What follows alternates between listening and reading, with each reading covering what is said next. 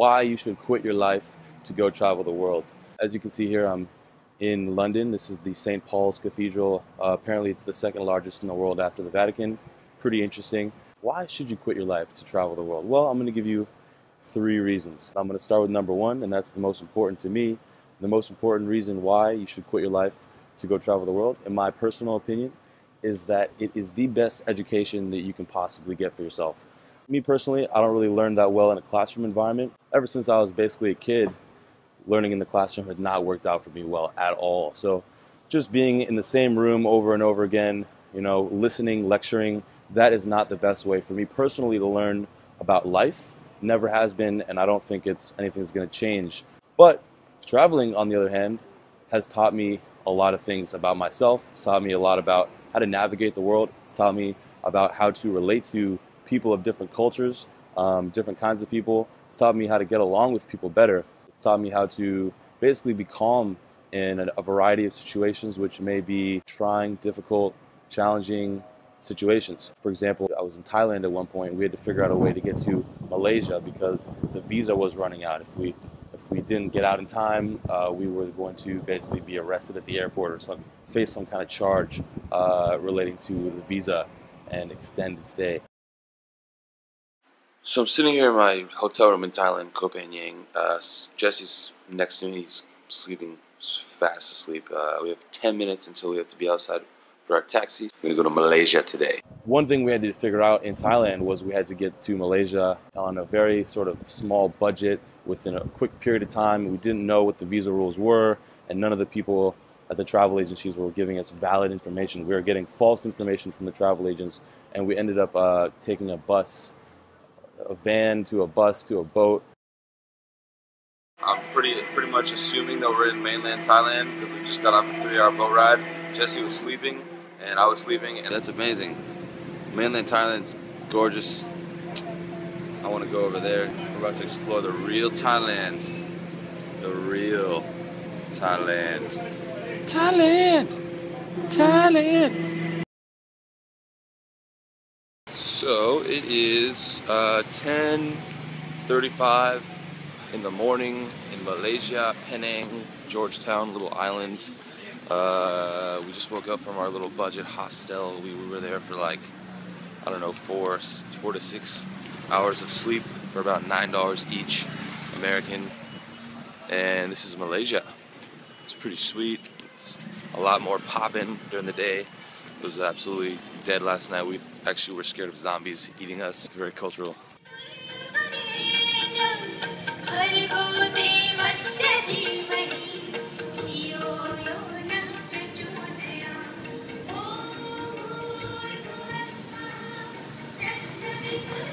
Where do you think the ATM was? A situation like that, you don't really know how to deal with it until it's right in front of you. And there's going to be many situations throughout life where things, a challenge comes up, and what do you do about it? You have to deal with it. You have to stay calm. You have to be able to use your brain. You have to be able to think on your feet. And traveling has taught me that uh, to a great extent. Like I said, that's reason number one. The best education that you can get is traveling.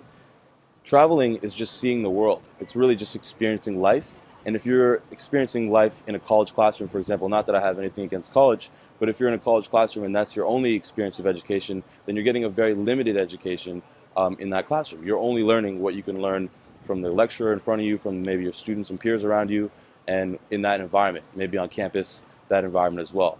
But if you're stuck in one place, then you can only learn what you, what's there. On the other hand, if you travel like me here in London right now, I'm learning lots of new things. I couldn't even name to you all the different things that, I, that I'm learning it's because it's so much happening. And that's really the main reason why I would say it's, it's a, good, a good idea for you to quit your life or figure out a way for you to travel for an extended period. Me personally, I'll be on the road for who knows how long. I'm here on a one way ticket here in Europe. Could be a few months, it could be years. I have no idea, and that's great for me. I'm not suggesting that you have to go quit your life completely and just move somewhere else to Europe on a one way ticket. I realize that's specific to my personality, and that's fine. But the education that you get interacting with people, traveling around, figuring out how to get these challenges, you really learn rapidly and you learn so much when you're traveling. So that's the reason number one. Number two uh, is going to be relationships. the relationships you develop on the road when you're traveling, they can be lifelong friendships and relationships that you keep for the rest of your life. Personally, the, the friendships I've made traveling um, in the past two years have been some of the best I've ever made. And I attribute that to a few things. One is the fact that when I am traveling, I'm in such a good place. Uh, I'm so centered, like so feeling great about everything, life, excited about to wake up and walk around, appreciating these new environments and beautiful architecture and you know people around and everything. It's it's awesome. What a nerd! What a nerd! What a nerd! What a nerd! What's your name, Miss? Um, my name is Kristi. Kristi, where are you from? I'm from Budapest. Budapest, Hungary. Yes, Hungary. And look at this beautiful view behind us. That's a beautiful place. Oh goodness. It's a beautiful place. Look at the sun behind us. It's, oh, that's nice lighting. Oh, that's nice. Woo! Woohoo! Hey, anyway, beautiful place, beautiful people. Hey, so as far as the person that you are when you're traveling, if you enjoy to travel, um, you are going to be, you're going to attract the kind of people around you that that are, have a similar type of energy and who are also growing and learning.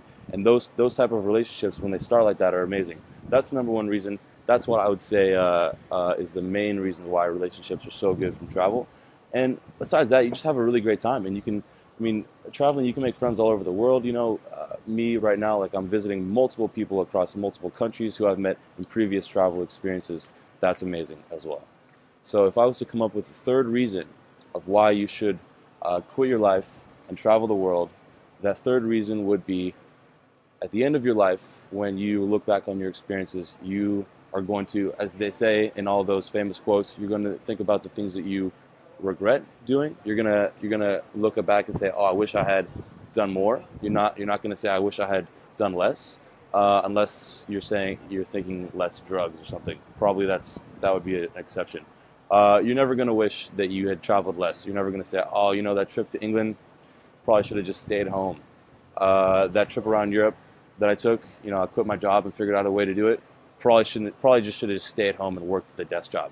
You're never going to say that. And if you are, that's fine. We have different personalities, and take, you know, you can ignore all this that I'm saying. So again, to reiterate, the three top reasons why I suggest you, for me personally, why you should quit your life and travel the world, number one, it's the best education you can get. You will grow as a person, you will learn incredible amounts about yourself and about the world and life. That's number one. Number two is the relationships you make with, when you are traveling and the person that you become as you are meeting these new people in new countries and new cultures and uh, all across the world. That's number two. Number three, as I said, is when you look back upon your life, you're never going to regret doing more and experiencing more things, you're always going to appreciate the fact that you did that. And it's difficult and it can be scary to do. Me, um, I definitely have fear about the future, what, what it holds. I don't know what it holds, and that's a scary thing. And it, that's exactly the mindset that I want to be in because that makes me grow. When I'm comfortable, I'm, I'm, I'm stagnating. When I'm too comfortable, I'm not growing. So when I'm uncomfortable, that's how I know I'm doing something right. So if you want to uh, quit your life and go travel, I recommend it. You'll learn a lot, you'll make awesome friends, and you're going to have an awesome experience of life to look back upon. So that's really all I have to say to you today from London. What's up, man? Yeah, good old London here. Good Tuesday. It's a Wednesday, actually. It's a Wednesday today.